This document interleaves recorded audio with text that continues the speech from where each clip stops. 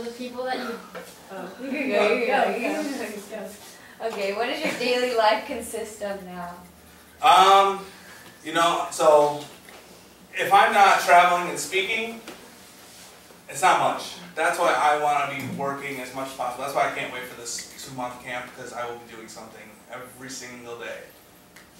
If I'm not speaking, which I have been doing a lot lately, if I'm not speaking, you know, I, I have to wake up, I have to put the prosthetic on. It takes me about a half hour, 45 minutes to uh, take a shower and get ready. It's not two minutes like it used to be.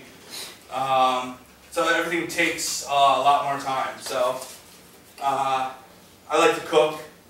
So you know, I cook my own food. Um, yeah, I mean, if I'm not if I'm not speaking, my day is honestly very boring, and boring leads to bad things. So you gotta keep busy, and that's why I cannot wait for this two months. And that's why I love coming to like this kind of stuff. It keeps me going, keeps me busy. So Camilla, last question. Uh, were the people that you met there, like the people whose house you stayed in, were they happy with what you guys were doing there? No. Not those ones.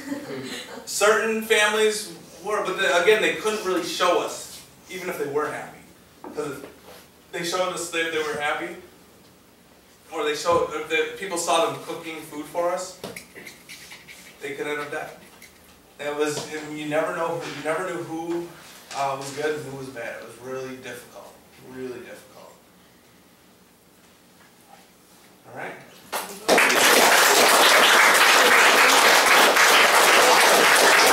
You guys, I'd like, I'd like to shout out a couple of power words that you guys got from today's presentation.